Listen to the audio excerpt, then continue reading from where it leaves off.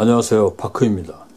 아, 682가 가진 숨겨진 기능을 아, 소개하도록 하겠습니다.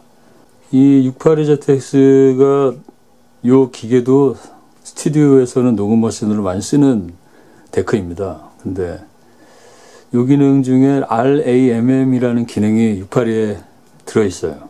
이 RAMM이 어떤 뜻이냐면은 Random Access Music Memory라는 뜻이에요. 그래서 뭐 셔플 기능처럼 이것저것 곡의 순서를 뒤죽박죽 섞어가지고 자기가 재생을 해내는 그런 기능인데 그건 천에서는 그게 돼요.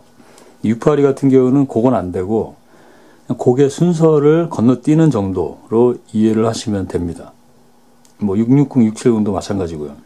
여기 보시면 왜 있는지 모르는 디지트 표시가 있고 RAMM이라고 써 있는데 불이 안 들어오거든요. 사용자분들 중에 대다수가 저걸 되게 궁금해해요. 저게 왜 있, 을까 저게 불을 들어오는 꼴을 한 번도 못 봤는데 표시창 디지털 표시창에 꽤 큰 부분을 제가 차지하고 있거든요.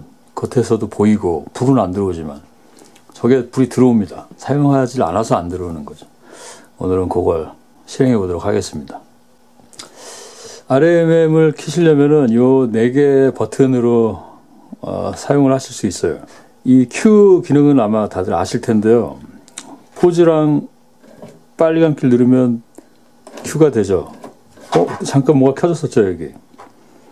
요 cue일 때 쓰는, 음, cue일 때 쓰는 기능이 RAMM이에요. 이 감기를 누른 상태에서 pause, 요, pause 눌러도 cue가 되거든요. 여기서 pause 버튼을 한 번 더 누르면 1, 2, 3, 4, 5 counting이 되는 걸 볼 수 있죠.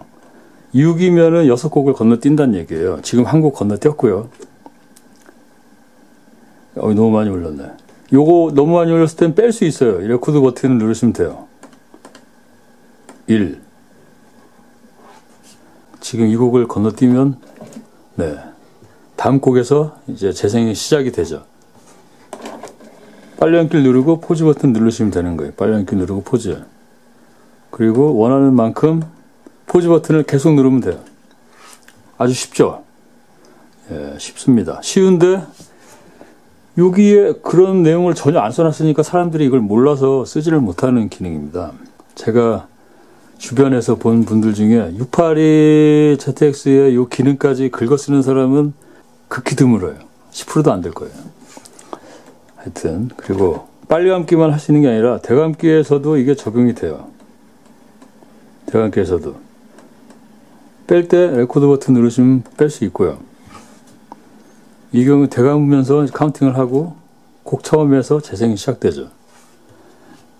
자, 이게 바로 RAMM 682의 RAMM입니다. 670, 660, 뭐 681, 다 대동소이한 방법으로 진행이 되니까요. 참고하시면 되고요. 사용하실 때 주의하실 점이 이 RAMM은 곡과 곡 사이가 한 3초 이상의 빈 공간이 있어야 돼요. 3초 이상. 4초 정도면 안전하고요. 3초면은 약간 아슬아슬하고 2초다. 빈 공간이 2초면은 얘가 운 좋으면 인식하고 운 나쁘면 건너뛰어요. 그러니까 복불 보이죠. 안전빵으로 3초 내지 4초 정도 빈 공간을 만드시면 아주 편리하게 테이프에 몇 곡이 있다. 그 곡의 순서 원하는 대로 빨리 감기, 대감기를 해서 곡을 들을 수 있는 거죠. 이건 이제 수동식이지만 기능이 있고 없고의 차이는 사용할 때 그 편의성에서도 많은 차이를 줍니다. 660, 670, 680, 681, 682 요거를 갖고 계신 요 시리즈의 데크를 갖고 계신 분들은 RAMM을 잘 활용을 하시면 더 편리한 데크 생활이 되실 겁니다. 물론 천 ZX를 가지고 계신 분들은 더욱 편하게 사용하실 수 있겠죠. 오늘은 682에 대해서 말씀을 드렸습니다. 감사합니다.